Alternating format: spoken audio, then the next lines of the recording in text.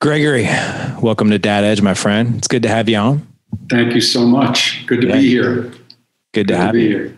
Uh, fascinating topic, as the guys heard in the intro. Mm-hmm. 650 shows, been podcasting for six years. Uh, I don't think we've ever covered this topic. So mm. excited mm. to talk to you.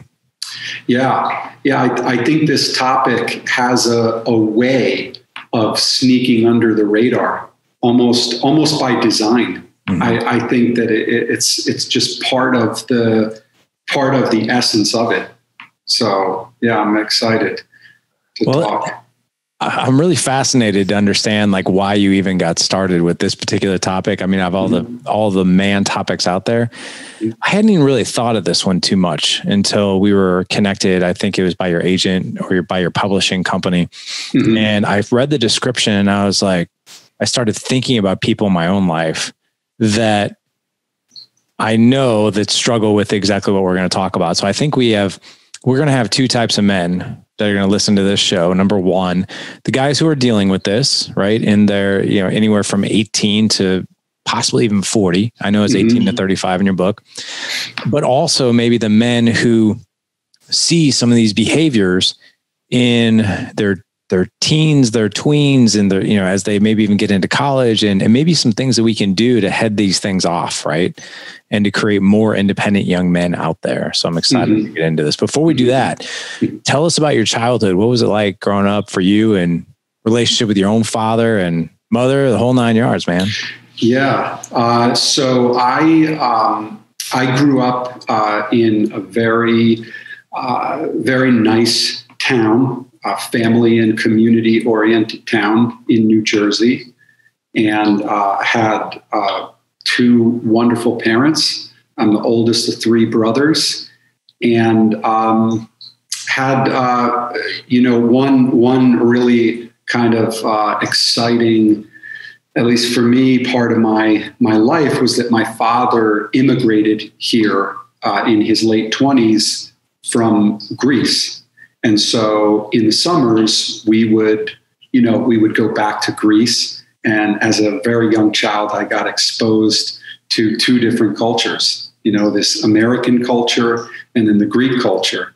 And they were they were totally different, you know, and um, I, I, just uh, you know loved uh, both and, and really took in you know what both had to offer uh, but one thing that that probably is that comes to mind that's you know relevant for this you know this talk is that I felt like my my father who did a one as great of a job as he could do he he immigrated here and he was really uh, trying to win the battle economically. You know he was trying to survive. He was trying to ascend to give us a better life. You know he grew up in you know not uh, really not with a lot of money. And so he he really wanted to uh, you know to devote a lot of time to his work. And I, I think the fact that he spent time there and then the fact that he was an immigrant there was a big distance in the years that I really needed a strong male role model. And uh, yeah, I guess fortunately for me, I grew up in an era where there there were these strong male role models in the community. So I would seek these men out like a sponge and just soak in all of their wisdom and all of their, you know, their power and confidence. And uh, I, I made a go of it. And you know, the book has my story. Uh, if people want to read more, it, it just showed how how I ended up finding the answers that that I feel we all all of us men need in the world. Yeah, I love how you talk about your your father. You you have a lot of respect for your father. I do. Yeah. I do. And that's evident just in the way you talk, even your voice, like how you talk about him. Like there's this, mm there's this calm yet direct, like you feel the respect that you have for your dad. Mm-hmm. Uh, the oldest of three boys, I I have four boys. Mm-hmm. Um, as you're saying that, I'm thinking about my oldest, who's almost 15, mm-hmm. and you know, so. what remind remind me again if I didn't hear correctly, but what were the critical ages that your dad was working a lot? I, I felt like it was from around the age of eight until you know until I left the house at 18. Um, yeah, those and he was ages, and he was available like on the weekends and everything. It just yeah, there was some personality issues, but I have to say, what what led me the respect that I ultimately found for my father. Uh, you know where that came from? I'm dying to know. It came from going on that journey myself. Okay. Yeah. Because for me, I always judged him. Yeah. It's like I could judge you like, oh, oh, Larry could be a better podcast host. Oh, Larry could have done this. Oh, Larry could have done that. And then the minute you get a podcast show, you're like, oh, oh yeah so it's actually not that easy to oh. you know maintain a family and maintain a marriage and raise your children and all this other stuff so i i feel like what really closed the gap in terms of my deep respect for my father was when I made a decision, uh, probably in my late 20s, to stop judging him and focus on myself. Mm-hmm. And then I found that, you know, the journey is not easy for any of us. Right.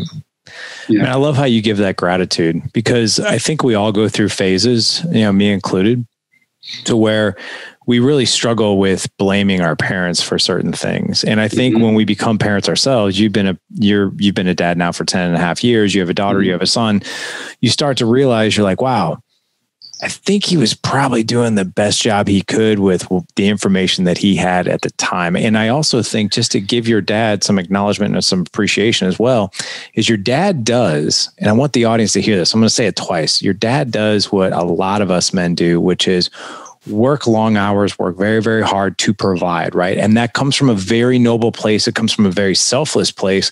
But at the same time, you, my friend, have just exemplified, you know, like, yeah, that was great, but I didn't get to see him that much during the week. And I, he was kind of like a, a weekend dad. We had a good relationship, but like, had to do over again, I would have liked to have had a better connection with him, even though he was providing, right? Mm-hmm. Yeah. And also, you know, a friend of mine, Warren Farrell, uh, who's written a, a bunch of books, he said, When was the moment when your father lost the glint in his eye, Ooh. the gleam in his eye? Dude, that. and, and for me, I always knew, and my father has, uh, you know, I'm not going to tell his story, but he's uh, spoken to me that, you know, his job didn't excite him. Yeah. I mean, it was it was a means to an end. Mm-hmm. He was very good at it. My father's a very very uh, smart man. Um, he's a mathematician and a physicist. And, wow. Uh, yeah, he's very very smart. And uh, but it it didn't it didn't it didn't set his soul on fire. You know. So I remember when we would go to uh, Greece as a as a kid his friends, who he kept lifelong friends there, they would come up to me and say, "Your father is is crazy. Your your father is your father is this. Your father is that." And I would look at my father. I'd say, "That guy." Like i don't i don't know him to be that guy. I know him to be the guy that wakes up at five in the morning and shaves and showers and gets on a train and goes to new york and comes home and you know he's wiped out. And i don't know this guy that you speak about. And uh, in the book you know the primal method i i do and this is relevant to to your uh, father audience. I do recommend that fathers uh, if they cannot show, of course, we show our kids who we are through action, but tell them who you are too. Tell them what tell them what made you who you are. You know, tell them what sets your soul on fire. Let your son see who you are. You know, and uh, that was just not something that was really done back then. So, yeah, you know, that's fascinating what you just said because mm. I think there's a part of us that we don't want to share those things, you know. And I used to be that way myself, growing. You know, I I'm raising four young men right now, right? Mm-hmm. And my childhood was insanity. And I don't share. I mean, the audience has known me for six years, so they they've heard my story. But and for those of you guys who are new to the podcast, I mean, mom, my mom was married three times. My biological father and her were divorced when I was younger. I ran, I never knew him. I ran into him by accident when I was 12. We had a very brief relationship for six months. That ended. And then I had a, I met him as a total fluke when I was 30 in a coffee shop here in St. Louis. And we've had a mm. relationship ever since. But what I can tell you is there was a lot of chaos. There was a lot of uncertainty that there was not psychological safety in my house. There was mental, physical, verbal abuse, abuse by the men my mom was with, by my mom. There's a lot of alcohol. I, th- I think that there was drug use. I can't confirm that. At the same time, you know, so my kids every now and again will ask like, why, why are you doing dad edge? Like, mm-hmm. and it, and I, I, this sounds self-serving to say, and I always mm-hmm. joke with my kids, but they're like, "You're already a good dad." I was like, well, you, you don't remember me before I started doing this podcast. Like, mm-hmm. that's why you think I'm a good dad because I was not at the time. But sometimes when I share like who dad is and where dad came from, I'll get like this sympathy. Even my oldest, you know, I think the oldest, you're the oldest of three. So like yes. the oldest is kind of like this young adult and they're also, they read people well. They're very empathetic. Right. And that's the way my son, and he always tells me, he's like, I feel so bad for you. I was like, don't, Mm-hmm. Don't feel bad for me. You know why? Because I'm doing the stuff now because of where we came from and who I am now. So I think that's really powerful. And I think you're right. right. A lot of men, I think the last statistic that I read, 82% of men go to a job that they hate. Mm-hmm. Isn't that crazy? It is. Yeah. It is. Yeah. By the way, thank you for, you know, for, sh- I learned, you know, when I, when I, uh, hear you describe your story and why you do the podcast, I feel like you're a man who who really has found a way to convert his pain into gold and and who's on a journey that there's no turning back from. Like I'm sure you believe as I do that as good or even great as a father I am, I'm nowhere near what I believe my potential to be. Sure. Yeah. I, I feel like I've just just tapped, you know, just kind of struck gold a little bit, but yeah. there's so much there to become more more present, to become more loving, and to know when to be firm too. Yeah. Because a lot of times, however we were parented, we react to that style. So if you had a very absent father, you become a very involved father, but you don't know when to step back and let your kid fall and skin their knees. Yep. And don't don't pick him up. You know, it's there's there's a lot. You know, there's a balance that needs to be found in my experience. I think also if you came from a home that was challenged, mm-hmm. you are more likely to be overly protective, overly nice, overly serving to the point where you're not necessarily raising self sufficient young men and women. Mm-hmm. What you're doing is is you're like, I wasn't taken care of as a kid, so I'm just I'm I'm pouring it all on, full throttle, full steam right. ahead, right? So, it, and real quick before we get into your family now, your wife and your kids, and then your book, is your dad still with us? Mm-hmm. He okay. is. He is. What's your relationship with him now? It's it's very sweet and very tender. Nice. Um, we we uh, he lives. My my mother and father live in New York City. Um, we keep in touch right now, mainly through you know Zoom and and through FaceTime and things like that. And um, but yeah, it's I, I feel like it, it's been a real gift, Larry, to get to know my father as an adult. Yeah. And it's a gift, as you said, we'll talk maybe a little bit about my own current family, my wife and kids. My wife immigrated here also, ironically, at the same age that my father did, you know, uh, from a foreign country. And uh, I really would love to give her the opportunity to know her parents as an adult.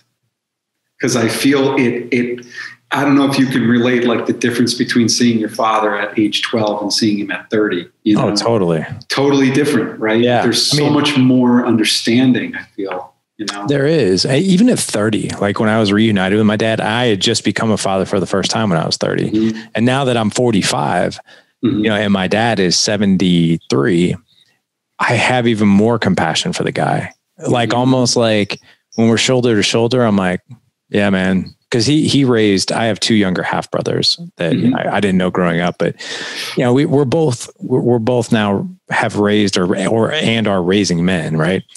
So it is cool to talk about what it's like to raise young men, and even though some of the past that he and I've been through, it hurts. We've gotten past that, and now we exchange you know best ideas about how to parent, which is pretty cool. So. Mm.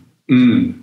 Well, tell me, tell us about your family now. Tell us about your wife. I know you got into that a little bit, but you have a daughter who's 10, you have a son who's five. Yeah. Tell us about them. Yeah. Uh, I have, uh, I mean, my, my pride and joy are, are my, my daughter and my son. Um, I, I would be, I would be doing myself a disservice and, and the listeners if I didn't say that having, especially when I first had my daughter, it it opened my heart in a way that I, I never even realized that it was closed. I, I didn't I didn't think that I could like love another human being like that so so selflessly.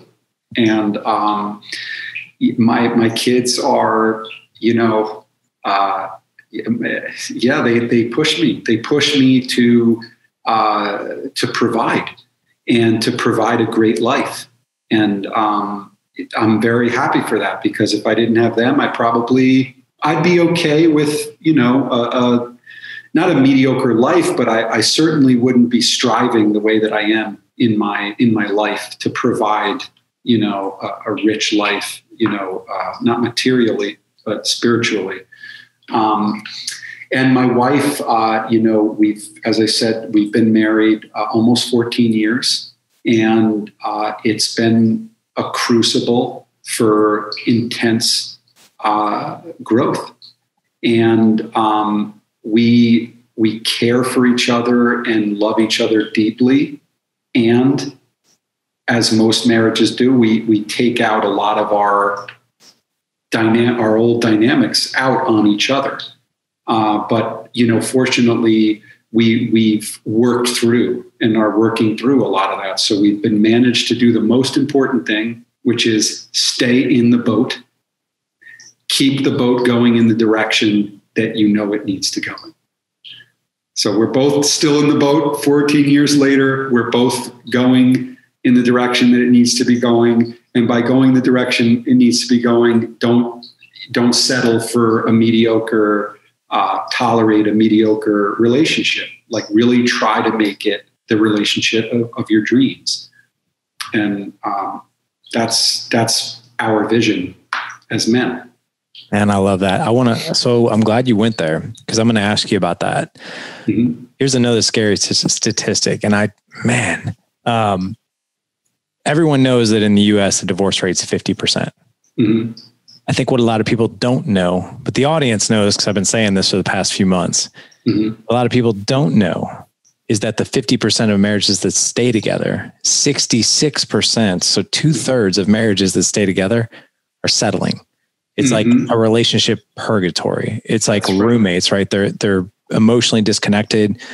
Scale one to ten, it's five or below, right? In those right. in that 66%. Right. There's two reasons people stay together, and this is probably going to be no news to you finances and the perception of we have to stay together for the kids. Mm-hmm. Only one third of marriages that stay together can actually identify their relationship as working. Mm-hmm. So that's like 15% of all people who get married right. are actually somewhat happy, right? Right. And, and I'm surprised, I'm surprised at, at how high those numbers are in terms of how many people say they're happy. Right. I, I actually would guess the divorce rate is higher and that the amount of marriages that are just suffering and settling are even higher. Yeah. So I think what you just outlined is that there are three choices that we know about, but actually there's a mysterious fourth that I'm going to give. Yeah. So choice one is you you bail, you you just get a divorce. Uh, choice two is you stick it out and suffer. Choice three is you're one of the lucky ones that has a you know a good marriage. Choice four is this you take it as your own personal duty and mission to breathe the life of love and joy and happiness into your relationship, no matter what. That's choice four. Yeah. I don't have a choice three marriage.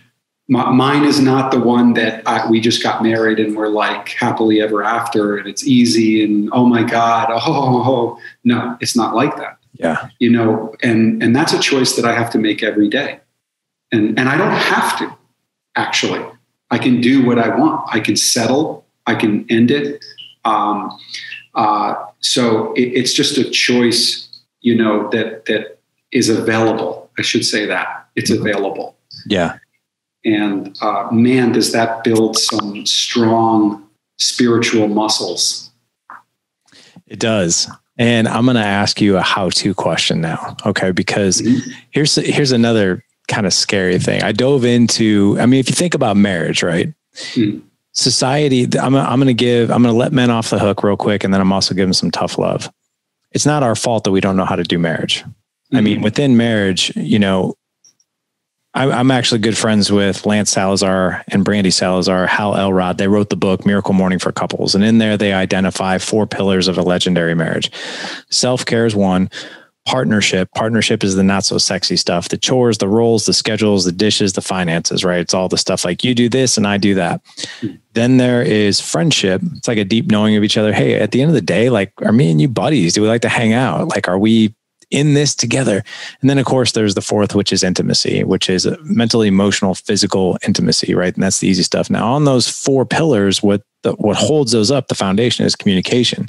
Mm. Under communication, you have all kinds of things emotional validation, tactical empathy, mirrors, labels, active listening, allowing your woman space and time to vent and you not solve her problems, like just things like that, right? And that's just a few of them.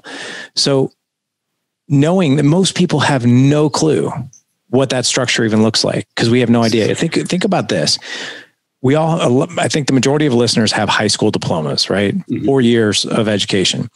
I would say a lot of them have associate's degrees or bachelors, right? That's that's two to four years. Then you have people in the audience or wherever else with master's degrees. That's another two years. Then PhD, another two years, right? Think about anything that we're gonna. If you want to be a doctor, you have to go through eight years of education. To be mm-hmm. a cop is 990 hours of training, right? But to be married, it's like oh yeah, uh, we love each other. We'll, we'll, we'll, figure it out. It's almost we we gave this analogy on one of our previous shows because one of the guys in our mastermind, he's an OBGYN and he was on one of our Q and A's that we do. And I'm and I asked him, I was like, I was like, Dr. Rafiq, I was like, if you went, if you decided not to go to medical school and you're like, you know what, I think I'm going to be an OBGYN, I'm going to deliver babies. I'll, I'll figure it out. I'm going to wing it. Like, would anybody come to you as a patient and be like, oh yeah, cool. You'll figure it out. It's been a gazillion babies born. Like you'll figure it out. And we would never think to do that. Right. But we do that in our marriages. But I think a lot, I think the miss and the gap is that we don't know how. We don't even know what the structure looks like. The structure I just laid out, most of us don't know that. So the question back to you is what's your wife's name, by the way? Satomi. Satomi. So how do you and Satomi make choice four like what what are just a couple tactics and behaviors that you both do maybe on a daily or at least a weekly basis that keep that relationship at an optimal level? You know, I'll tell you the one thing that has uh, worked and probably saved our marriage, and that is we, when we needed oxygen for the marriage, we got it. Like if we had to go on a week, uh, a weekend retreat, we've been on numerous couples retreats and it, it's something about being in a room with other couples in a facilitated manner by, you know, uh, somebody who really can guide that process.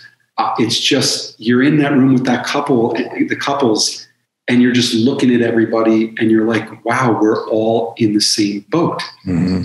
And and something about that has diffused a lot of the, you know, um, the unique, like where we think it's only us, you know? You know, we say this all the time, but isolation is the enemy of excellence. We say that from an individual standpoint, but I, I think you just nailed it that from a, even a couple standpoint. Mm-hmm. If you're a couple and you think you're the only people in the world going through what you're going through, that isolation alone is going to eat away at you. Coupled with the fact that you're you might be looking outside of yourself and comparing and despairing. Like you might be seeing people post something on Instagram of how happy they are, like as though they never fight, as though they never go through these things. Right. You know, so I, by the way, I, I know we're going down the topic of marriage, which is great. I don't consider myself uh, an expert. However, what, what I will tell you is that my commitment to my to working through the obstacles and the difficulties and, and staying the course in marriage, I believe it helps me reach down to young men and ask them to work through their own battles. And they know that I am not just a preacher, I'm a practitioner. Mm-hmm. I know that because I, I know that the same hurts, the same frustrations, the same fears, the same delusions that these young men are crippled by, I'm also struggling with, but I'm fighting the good fight. So therefore, I can speak to them with authority. I want you to fight the good fight because it's worth it. So there's this, you know, uh, bond Mm-hmm. It's a good mixture between not preaching from like you're you know a thing or two, right? But you're not mm-hmm. preaching from the pulpit. You know, it's more like you're shoulder to shoulder, like, hey, I'm a student with you. I'm just a little bit right. ahead of you. And I understand a few things, a few simple things to help make all the difference. That's what you just said is the exact words I use to every single young man that I've ever worked with. See, I see you. I see you. you. See That's the exact that's the exact thing that I say to them. I yeah. say, I'm not coming to you as an expert who solved everything in his life, but I do believe I'm a few steps ahead of you and I may be able to offer something to you. And you'll be able to offer something to me. We'll teach each other because we're, we're all on this, this ascent, this very difficult ascent. And um, we're never there. I, I tell the young men that I work with all the time the only difference between me and you is that I'm higher up the mountain. But guess what happens when you're higher up the mountain? What happens to the oxygen? It's a little thinner. What happens to the the the incline? A little, little steeper. steeper. And what happens if you fall? It's a little further. A little, little further, a little more consequences. Yeah. Suddenly you're not losing your job at, you know, uh, like a job that you could replace, but you're losing a career you're losing a marriage, you're losing kids, you're losing everything. So the only thing that's different be- between me and them is the degree of difficulty and the stakes. But fortunately, I, I have the tools to, to go on this journey that I'm on. And they can too. They have to acquire the tools to go on the journey. I love that. And I'm, I'm glad you brought that up because there's one thing that that approach I think really does well. So, not only for clients and not only for kids, but for marriage as well, what that provides is psychological safety. Mm-hmm. Because people, it's hard. It's almost, it's a, it, for for all you guys who are Catholics out there, and you know what confession is, right? Even though that that priest has probably heard every single sin known to man, right? Mm-hmm. You still feel terrified beyond belief to go confess any sins or any of your dirty laundry because you know that that guy is preaching from the pulpit, right? Mm-hmm. You, there's no longer that feeling of like, yeah, man, I'm here with you, right? Mm-hmm. And I think what that does is it makes us very guarded. You know, it's the same thing. Like when, when I grew up, the message was, um, I'm right because I'm mom, and I'm right because I'm dad, and I'm not sorry ever right? That's what that's what we hear. That's what i heard all the time. And mm-hmm. it, it, created so much dissonance between us so much space. And one of the things that i've learned by doing this podcast and it sounds like you've learned it as well is to remain very very human. Mm-hmm. because when you're human that makes you relatable. And when you're relatable you create psychological safety within people that they feel that they can tell you what's truly on their mind and heart. And that especially if you're a dad mm-hmm. like I want to raise my kids at the very core, and I, I, get the feeling you do too, at the very core of what I'm doing with these kids is obviously teaching them to be good humans. But when something goes wrong in their life, I don't want them to be like, oh crap, I can't tell my dad. When something goes wrong, I want them to be like, oh crap, I'm going to call my dad because you've created this bond and this connection. Like, hey man, I'm not going to judge you. Let me help. Let me, let me guide you here. Right. Yeah. And I'm not going to solve it for you. I'm not going to do it for you. Exactly. Because I, I, can't. Right. It's, I'll help help guide you. I'll walk you through it, but I'm not going to be throwing you a golden parachute. That's right. I'll be there with you. That's what they they talk about a lot of this. You've heard of snow plowing parents. I, no, you never heard of that? I have. I've heard the helicopter. I have not heard the snowplow. Yeah, the snowplow. Like they they get in front of their kids and they snowplow the whole way for them. You know, they they basically clean okay. the road. Yeah, and it, this is a mistake. It's huge you know, mistake. At least in my opinion, I'm getting a little echo. I don't know if that's me. I don't hear any echoes. The only thing I hear are some drips in the background. I didn't know if that was your faucet. That's, that's my Buddha statue. Let me turn that off. Let me turn the boot off. Yeah, turn the boot off. By the way, we're uh, we're not going to edit this. Hey, while Gregory steps away, though, uh, I'm going to tell you guys about. We've been talking a lot about marriage in this particular show. Uh, as you guys have heard in other podcasts, if you go to our homepage, gooddadproject.com, you will see a brand new free resource in there for you called 21 Days to an Extraordinary Marriage, where basically what it is is 15 emails over 21 days. What it's going to do is it's going to map out strategies, structure, conversations, and three challenges in a way that you can connect with your wife in a way that maybe you haven't in the past, or maybe you just haven't in a long time.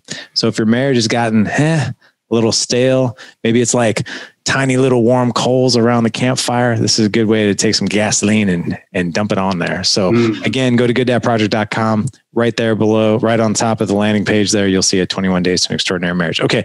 Now the Buddha's done going to the bathroom. Gregory is the back. Buddha, the Buddha's uh, has taken a break. yeah. Oh my gosh. Okay. So I'm, dude, I'm super stoked to get into your book, The Primal Method.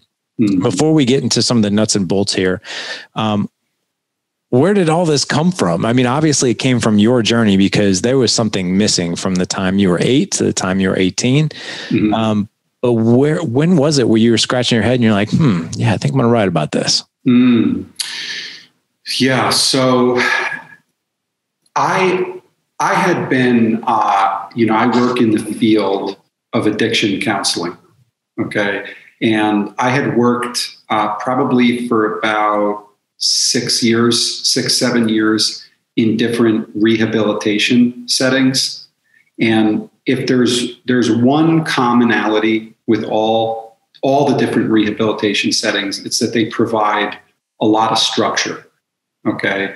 And I saw that within that structure, I saw people were capable of making miraculous transformations you know, uh, a mother who was putting alcohol as the most important thing in their life was now like finding spirituality and being of service and becoming a humble, devoted mother.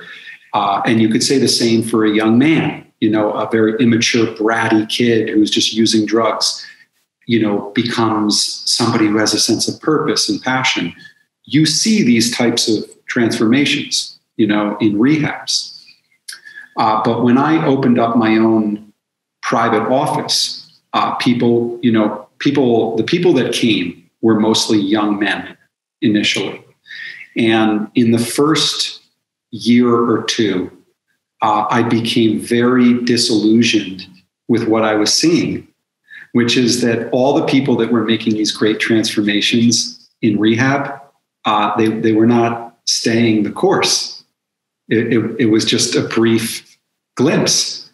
And uh, this one thing that I found is that traditional talk uh, therapy and all the, the approaches that I had been trained in, they were not really helping these young men.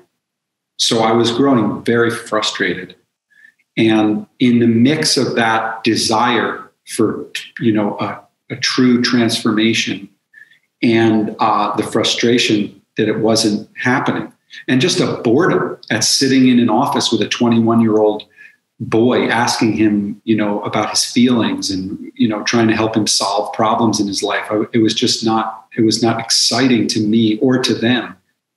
In a mixture of that whole uh, scenario i made a decision. And the decision was we are not going to meet in the office anymore or i didn't say anymore but i said let's let's go outside i don't care what we do but let's just go do something. And that decision to leave the office was like a domino that just started going like this, and it knocked a whole pattern into place. And when we left the office, I started doing things uh, intuitively that started to really reach these young men. And I did that for, you know, probably three or four years. And, and lo and behold, uh, these young men started to experience transformation. And not just the brief transformation, transformation that was lasting. And, and they, were, they were growing into independent men who could create their own life, right? A life that they considered to be their own and that they were happy with. Well, this was something big. This was big news because actually working with young men, it's a very difficult population to reach. Most professionals will admit to that. So here I was. Uh, I had worked with uh, uh, you know a number of guys to the point where I knew, okay, this wasn't just uh, one guy or two guys. I, I can really look at parents and a young man and say, I have a way of working, a reliable way of working with you, with your son, in a way that, that will produce the mighty change. Uh, well, you know, I made a decision to to write about it and to try to figure out what it was that I was doing. And that journey uh, lasted about four years and culminated in the book Primal Method. And I outline uh, different tools that I've identified that are common in all of the work that I've done with young men. And who would you say? I know you started with rehab and uh, the structure and that kind of thing, but who is this book really for? Well, I wrote the book to appeal to be able to be read by a young man. Okay. I wanted a 20, I wanted it to be a book that if you or I was 20 years old or 20, Four or 28, we could read it and be like, wow, I, I, get it. You know, this guy is offering something of value. Okay.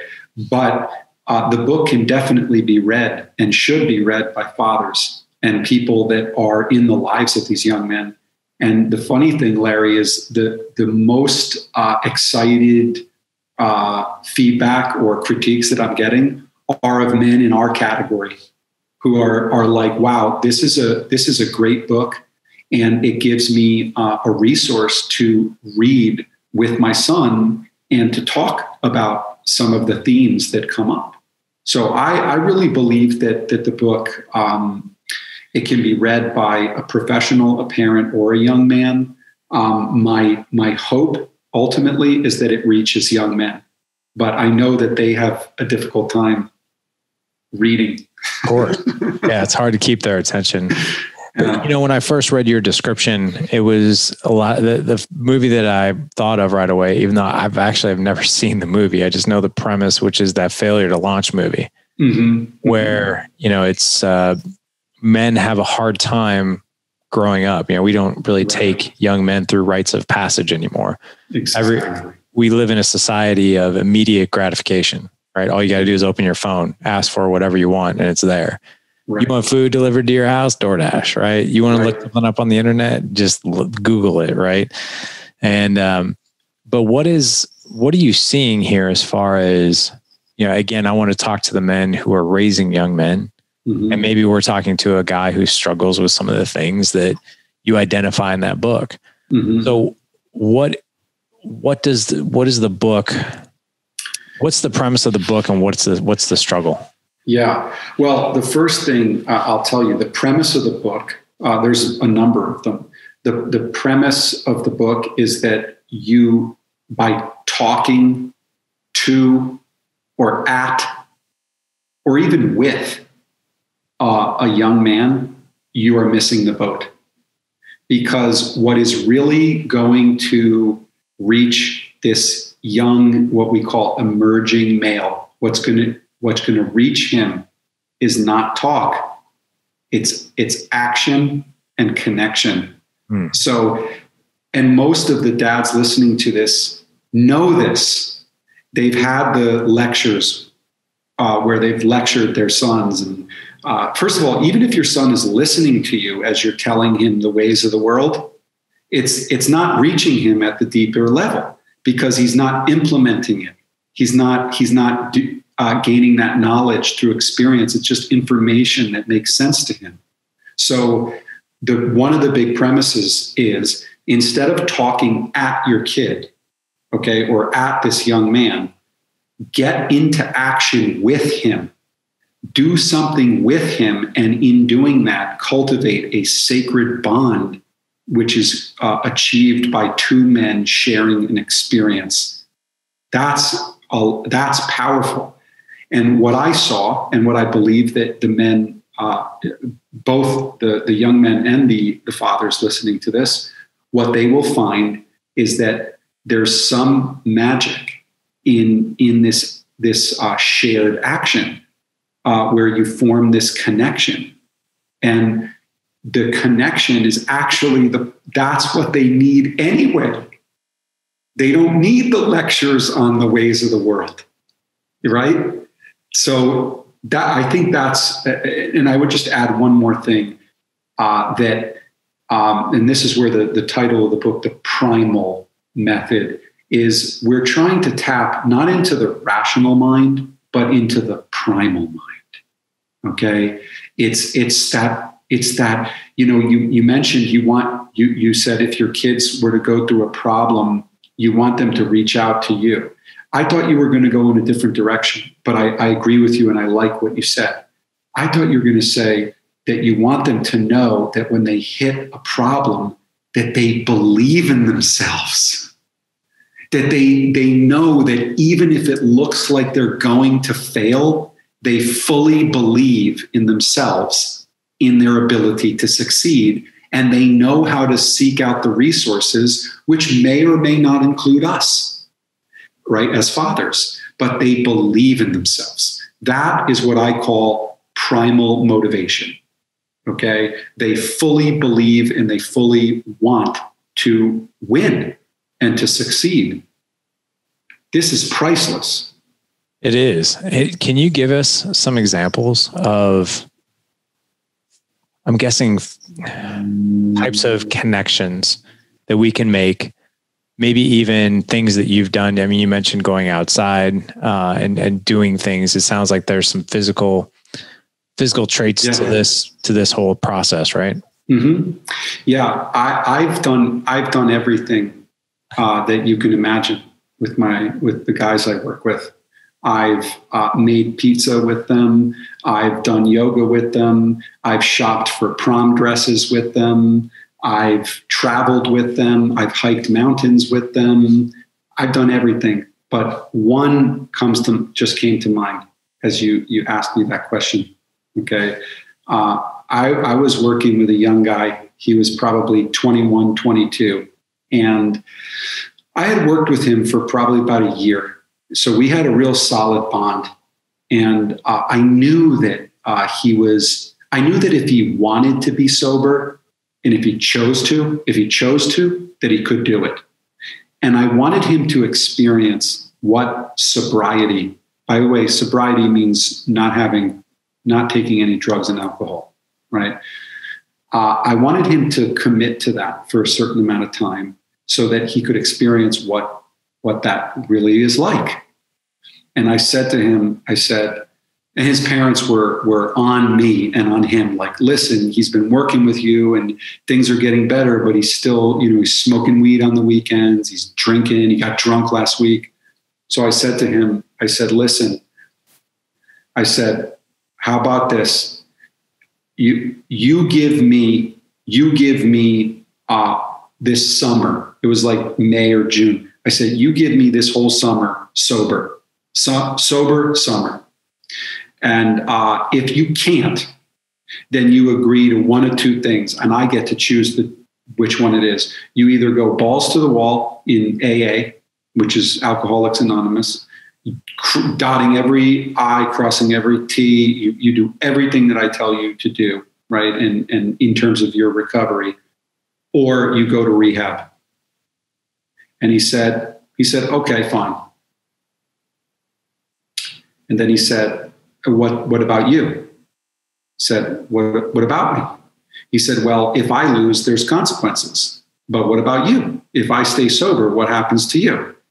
And I said, Well, you know, the gift is for you, not for me. Right. And he, he gave me a look like, Come on, bro. Like, you got to have some skin in the game.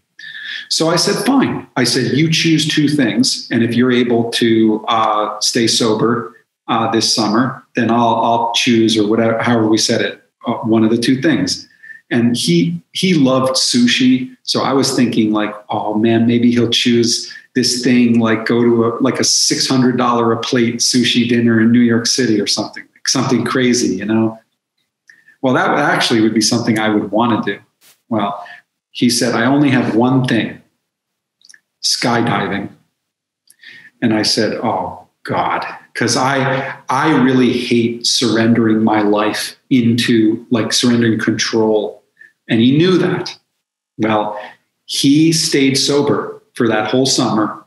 And I, I, remember people say, What was it like to skydive? The only thing I remember is when I jumped out of the plane and when we landed on the ground, I said, I'm asking these guys to, that's essentially what I'm asking them to do. I'm asking them to jump out of a plane, quote unquote, and trust that there's a new life awaiting for them. You see? So I need to be willing to do the same thing with them. I need to be willing to jump out of my own plane. I need to be willing to.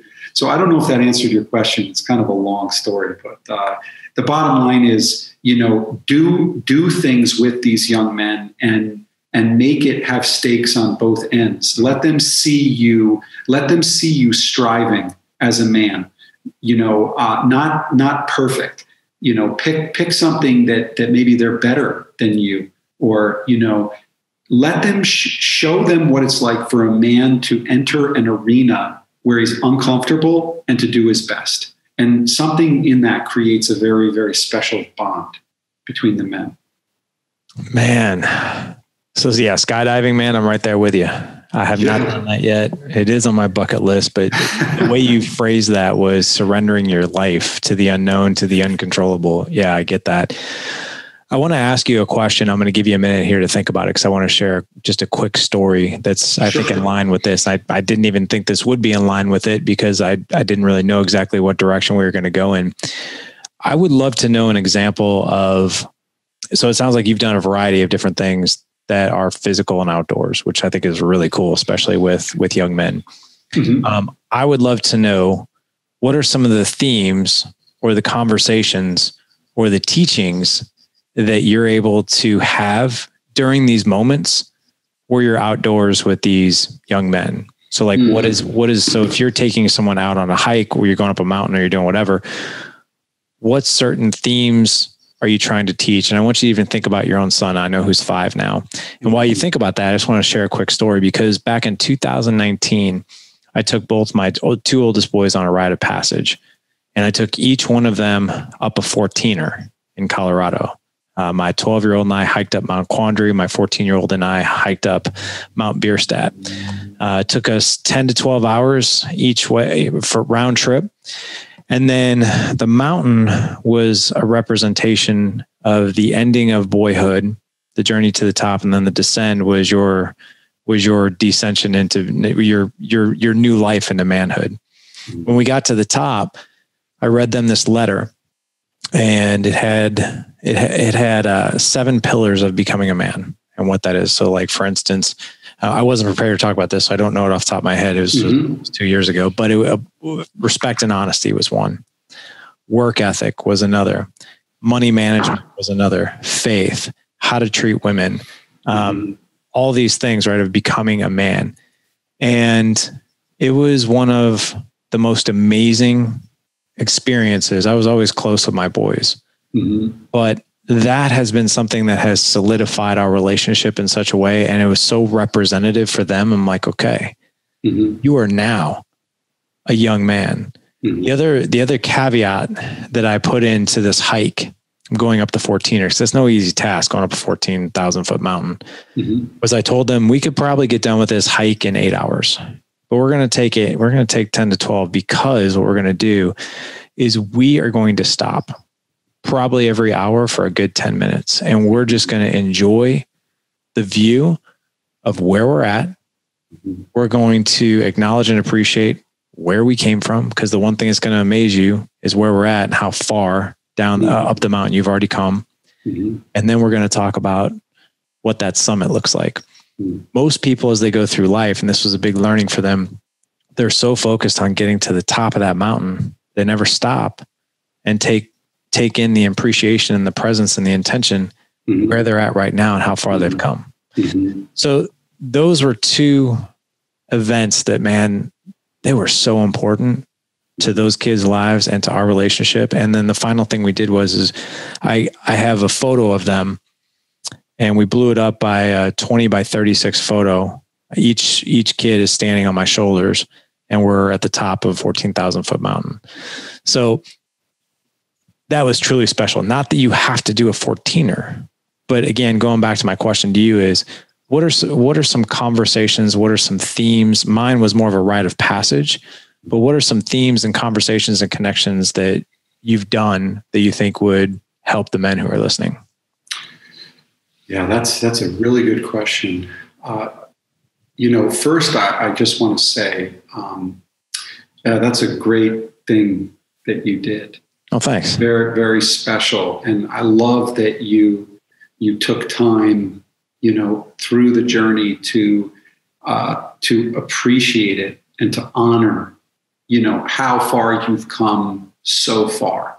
You know, um, very special, very special. I like that. Um, so, in I want to just contextualize my answer the men, the young men that I'm working with have usually really lost their way in life. And oftentimes, no matter how smart they are, I got I get the feeling that they've lost touch with the basic fundamentals. It's almost like the old adage of return to the, the fundamentals of blocking and tackling right? You, if you make things too complicated, sometimes you can lose your way. So I try to really boil down my work with these young men to the very simple building blocks of life. And that includes uh, relationships. And I use my relationship with them as, as a um, uh, microcosm like we we really try to cultivate a true relationship. So a lot of what we talk about is our our relationship you know and how to work through conflict that comes up. And the other is getting a job okay? Um, again the guys that i work with are very smart some of them they go on they're doctors they're going to be lawyers they're going to be you know but but they struggle with the fundamentals. So i try to keep things very simple and i don't have any any agenda in terms of you know um, all i want them to do is to learn how to simply enjoy uh, life and being in a relationship. So all of our conversations even though other things may come up they get in a fight with their parents um, you know, usually, usually what I'm targeting is their faulty belief system. You know, you as a young man, and maybe you can remember this. You're you're 20 years old. You're 24 years old. You've got this whole set of beliefs. You think you know everything. Okay. At some point, you realize that your way of life, no matter how strongly you believe, it doesn't work it just doesn't work. And there there is that moment with with the guys that I work with that we have to look at what is their belief system and why where did you get the idea that that's how this huge magical thing called life and works i don't i haven't found that life works that way so a lot of our conversations are just kind of basic like how why do you believe that that's how life works? Because i believe that i have found through experience that it's it works differently and it's far better to believe this. So a lot of the conversations is just is just like that you know? Fascinating. So just new perspective being able to see life through a different lens Mm-hmm. You're right. I mean, a man in his 20s. I mean, those. I mean, you talk about the ages of eight to 18, where they were. Those were critical years for you. Mm-hmm. I also think it's critical years for a man in his 20s and even in his 30s, right? To have a mentor. I mean, you said you have someone who's just a little bit further up the mountain than than you are, exactly. because you're right. At the, at that age, they're there's something very dangerous about living like living that way. I remember when I was in my 20s and I thought like, oh wow, this is this is what life is. You know, it's like work Monday through Friday, party on the weekends, like just is what it is, right? Maybe I'll get married, not sure what that's going to look like, but I think having a mentor or a guide which I didn't have at that point in my life would have made all the difference in the world. And I think that's really what you're getting at, right? Yeah. yeah. Even just something like that, like you mentioned with the marriage, like a man reaches a point in his marriage where he says, This woman who I married is not my best friend. Well, where did where did you get the idea that this person that you're with is just going to magically be your best friend through no through no effort on your part?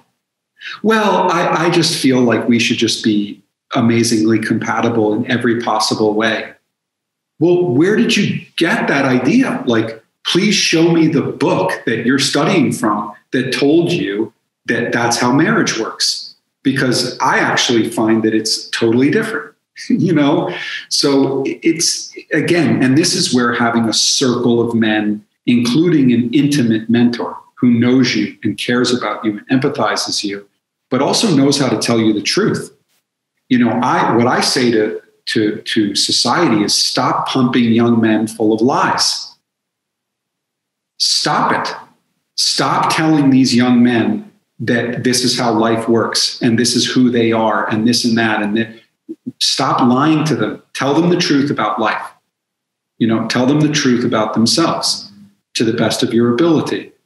And for me, that's that's what I want. I don't I don't want to uh, I don't I don't care about how I want life to believe to be. I don't care about how I want life to be. I want to I want to know how life is. I hear you, man. Um, this has been amazing and and unexpected too. So, th- if you men are going to take any theme from this podcast, is it to connect with your kids? Maybe not talk to them, yeah, tell them about life, but get them out of the grind. Do something with them I mean, think of think of all these different things. You could hike, camp, you could climb a 14er if you really want to do something like that. But I agree with you. The fact that it's ex- shared experiences yes. that elevate a relationship. There you go. And if you can leverage an experience with a lesson, it truly solidifies, I think, that lesson. And that's right right? And and life will always provide the lesson. I love it man. Well as we wrap up here uh, this is gregory this has been great. Uh, as but as we wrap up here is there anything we've missed? No no. I think you know my my invitation it, to young men is to get the book and to start reading the book and uh, to fathers too. And I, I, hope that we can create some venues and experiences where we can talk about the themes because this is just the first step. This is just the first step of many. You know, Lao Tzu said, uh, the journey of a thousand miles begins with a single step. This is a single step. And it, it gives an opener to a conversation that we can have. But I think I think we did a great job um, giving of ourselves today, and uh, I'm very happy with uh, what we talked about. I agree. And just to recap some themes here, mm-hmm. uh, critical ages. I think you nailed it. Eight to eighteen. It's a critical mm-hmm. age to be a part of a young man's life. Number two, I love the four four outcomes of a marriage that you talked about. Right. And I and I hope you men got it of what that number four really looks like. And of course, to recap those statistics, I don't have to repeat them, but only 15% of marriages are actually working, right? So, and if you believe Gregory, it's only five. Right? Exactly. Some people lied you know, in that survey. But the other thing too is, is how can you add in the tactics, the behaviors, and the training to build that extraordinary marriage? And then on top of it, if you're raising young men, are you raising young men? How important is it to maybe get outside, out of the, uh, out of under your own roof, and share an experience and a conversation and a connection about life versus just sitting eye to eye over over the breakfast table. So right. I love that, man. Right. And and finally, don't don't pick something that puts you on the elevated status. Pick something where the two of you are equal. Take take a class in jujitsu that you've never taken. Yeah. You know, um, if if take a swimming lesson if you both don't know how to swim. Take a dance lesson. Take an improv comedy lesson. Let let your son see oh. how you go through life when you're not the expert. Because even if they resent you for it, they, they feel like you're putting yourself on as the expert. And we're not experts. We're all men on the journey of life, and life is way bigger than all of us. So humble yourself and show your son how you go through the process of becoming a man. I know we're almost done, but I, I want to recap that because that was a very solid point right there mm-hmm. is that we can always be a lifelong student. We don't always have to be the expert. Mm-hmm. Um, I love the suggestion of just doing things you would never do, like swimming, jujitsu, the the improv comedy thing. I mean, I might when this whole COVID thing is over. I think that would be hysterical to do. Number one, but um, you know, my kids, my my boys, I, I didn't I didn't grow up with a father, and that's really no excuse. I'm not a very handy person, right? I have other skills and gifts. Being handy is just not one of them. Mm.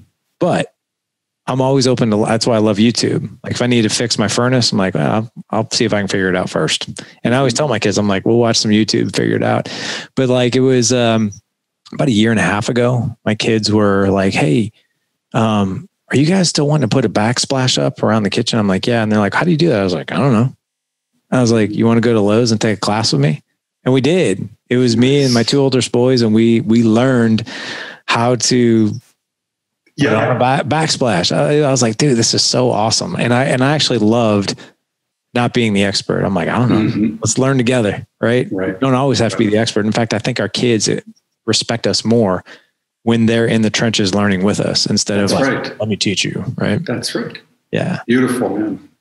Where can men find your book and everything that you're doing?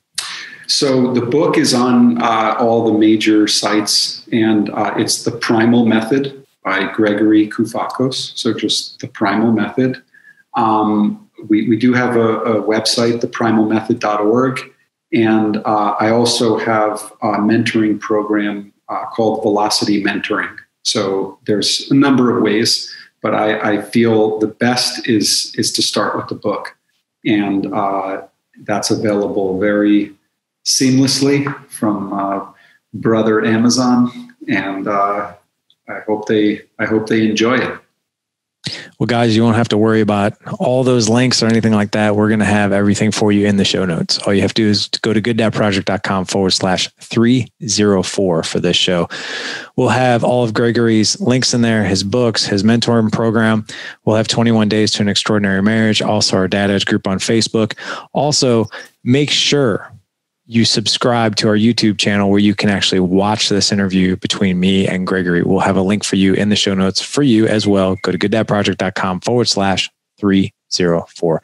Gregory, thank you for coming on, my friend. This was great. Thank you for having me. You bet. Gentlemen, go out and live legendary. Take care. Mm.